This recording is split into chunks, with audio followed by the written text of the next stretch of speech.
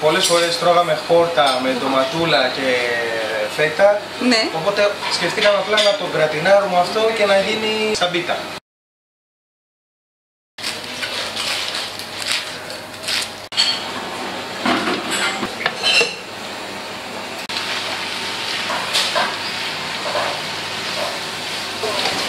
Αυτό που θέλουμε εμείς είναι αυτά τα ζουμιά όσο περισσότερο γίνεται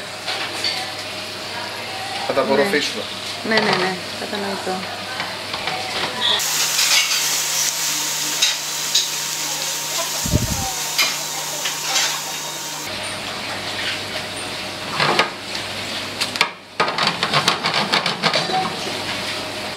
Ναι.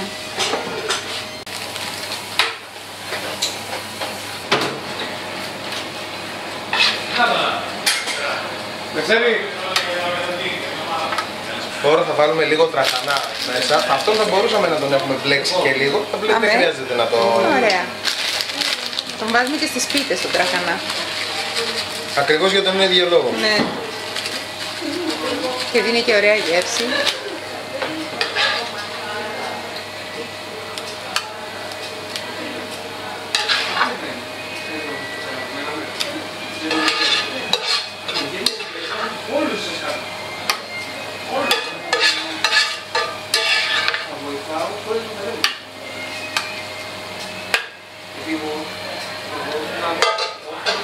Τώρα θα βάλουμε την ντομάτα.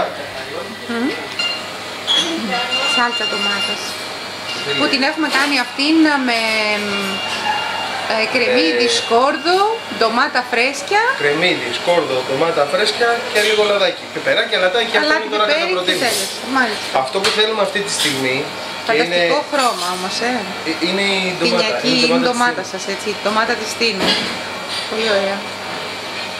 Λοιπόν, αυτό που κάνω αυτή τη στιγμή είναι λίγο να προσπαθώ να εισχωρήσει η σάλτσα Ωραία. μέσα, η ντομάτα μας μέσα. Και στο τέλος θα ρίξουμε τη φέτα, Τέλεια. την οποία έχουμε τρίψει. Φαγητό, φανταστικό. Το έφαγα και το λάτρεψα. Γι' αυτό και κάνουμε και το βίντεο.